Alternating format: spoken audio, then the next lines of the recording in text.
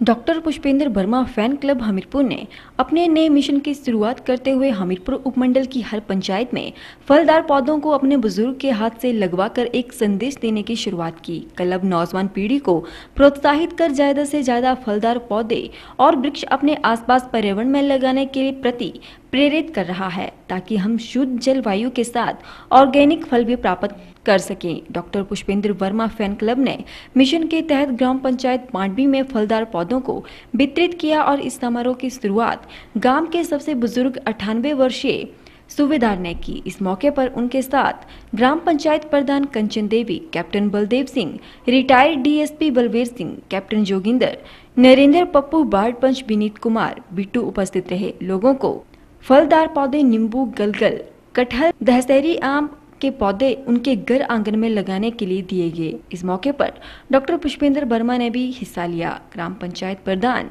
कंचन देवी ने कहा कि doctor Pushpendra Verma fan club के प्रयास सराहनीय हैं और इससे जहाँ पर्यावरण को लाभ पहुंचेगा, वहीं आने वाली पीढ़ी को भी अपने बुज़ुर्गों के सम्मान करने की सीख मिलेगी। शर्मा जी का बहुत बड़प्पन है, जैसे कि जो बुज़ुर्ग हैं 98 एट ईयर्स ओल्ड जो बुज़ुर्ग हैं, उनका मान सम्मान है। आने वाली पीढ़ी जो है, वो आजकल जो संस्कार जो हैं, वो लुप्त होते जा रहे हैं। तो मैं, ये इनका बहुत बड़ा बड़प्पन है। एक जो फलदार पौधा है, वो हर पंचायत में सौ, डेढ़ सौ जो पौधा है जो वितरण कर रहे हैं, वो एक बुज़ुर्गों का मान सम्मान है और आने वाली पीढ़ी के लिए भी ये संदेश है। और मैं पुष्पिंदर वर्मा जी का, इन्होंने पहले जो सैनिटाइज जो पूरी पंचायत में वितरित किया तो मैं इनका ये एक समाज सेवी जो है वो बहुत ही अच्छी तरह से अपना जो है वो कार्य निभा रहे हैं। मैं इनका बहुत बहुत धन्यवाद करती हूँ। जय हिंद। ग्रामीण बलदेव बलवीर सिंह ने भी doctor Pushpendra Verma fan club की गतिविधियों की सराहना की और कहा कि क्लब ने पहले पंचायत को सैनिटाइजेशन करवाई थी और अब फलदार पौधे बुज़ुर्गों के हाथों लगवाकर समाज सेवा का अच्छा उदाहरण पेश किया है।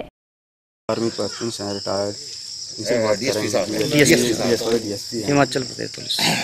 सर जो पौधा रोपण हो रहा है आप ओल्ड एज पर्सन हैं तो क्या कहते हैं इसके क्या सीख ओल्ड एज पर्सन के लिए देना चाहेंगे आप?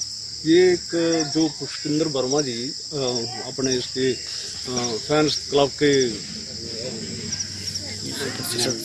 चेयरमैन हैं। चेयरमैन हैं। उनकी ये बड़ी अच्छी सोच है। और इससे पहले भी इन्होंने सैनिटाइजेशन का काम लगभग उसमें काफ़ी दूर दूर तक किया और काफ़ी जो फ्रूटफुल रहा। अभी भी ये जो है, ये पौधे लगा रहे हैं। ये पौधे जो है, हमारे बच्चों को आगे एक बहुत अच्छा उनको एक लेसन है।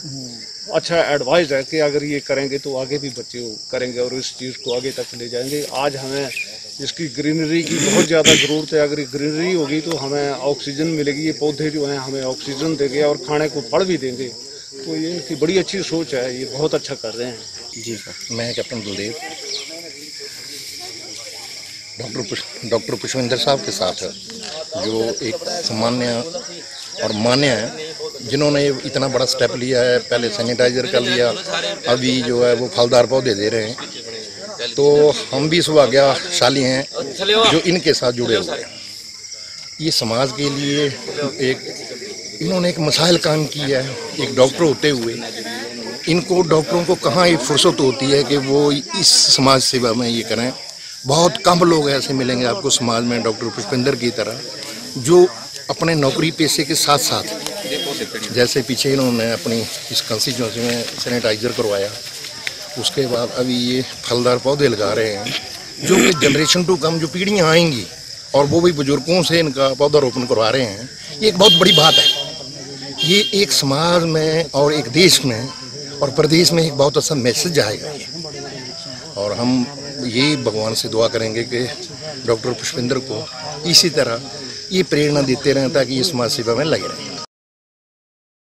डॉक्टर पुष्पेंद्र वर्मा ने कहा कि क्लब इस तरह के कार्यों को आगे लगातार जारी रखेगा और बरसात के इस मौसम में हर पंचायत में फलदार पौधे अपने बुज़ुर्गों के हाथ से लगवाए जाएँगे ताकि बुज़ुर्गों के नाम का भंडारा भविष्य में लगा रहे। क्योंकि जो फलदार पौधे होते हैं, इनके फलों को कीड़े मकोड़े चिड़ियाँ भी खाती हैं तो ये उनके नाम का भंडारा जो है वह आगे भी पीढ़ी दर पीढ़ी चलता रहेगा।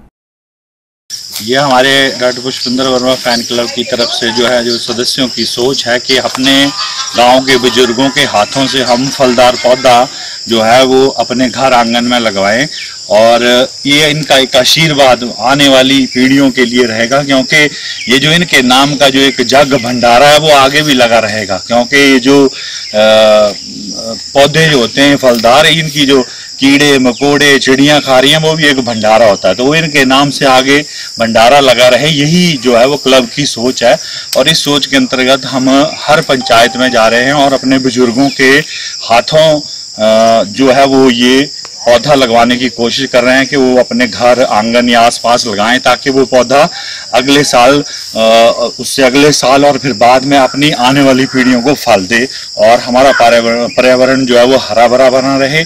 और एक पौधा जैसे कि आपको पता ही है कि सात आदमियों को जो ऑक्सीजन देता है। तो अगर ऐसे ही सोच रहेगी तो बुज़ुर्ग लोगों के हाथ से लगाएँगे तो हमारी जो आने वाली नौजवान पीढ़ी है वो भी आगे इसको बढ़ाएगी तो ये एक अच्छा मैसेज आएगा। इसी सोच के साथ क्लब के जो सदस्य हैं, ये धन्यवाद के हमारे पात्र हैं कि इन्होंने ये सोच रखी और ये कदम जो है वो स्टार्ट किया और हम जारी रखेंगे इसको बरसात में पूरा। और हर पंचायत को हम सौ सौ, डेढ़ सौ डेढ़ सौ फलदार पौधे देने की कोशिश करेंगे। पहले सैनिटाइजर का जिम्मा संभाला हुआ था, वो ये पौधा वितरण है। क्या कहाँ से ये ये मिला आपको ये? ये समाज सेवा है। हम कोशिश करते हैं कि अपना जो हमें समाज ने दिया है, हम भी समाज को वापस लौटाएँ।